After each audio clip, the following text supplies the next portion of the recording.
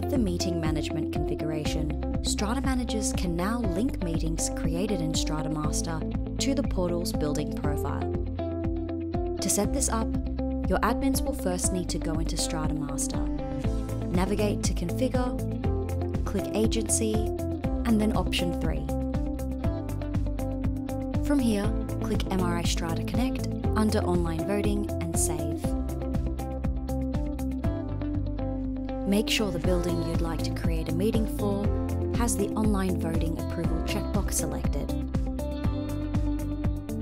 Then create a new meeting. Go to Registers, Meetings, and then Create New. Select the type of meeting. Add the meeting date and time and the arrears cutoff. Allow online voting, cutoff date and time, the venue, and select to show on portal. Before you allow voting, make sure to add an agenda. Once this is added, you can change the settings to allow voting and save.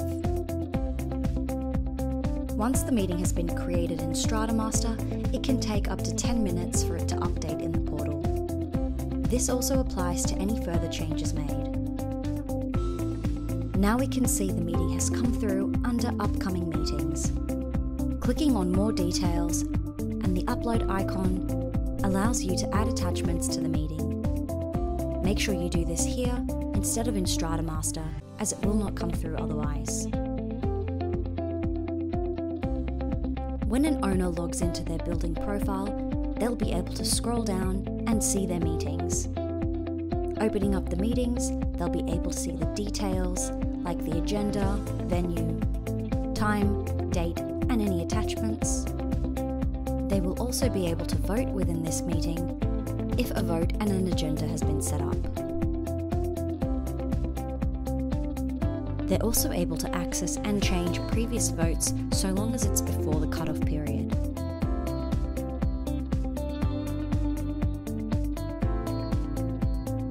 Committee members and owners are also able to access details of completed meetings in their building.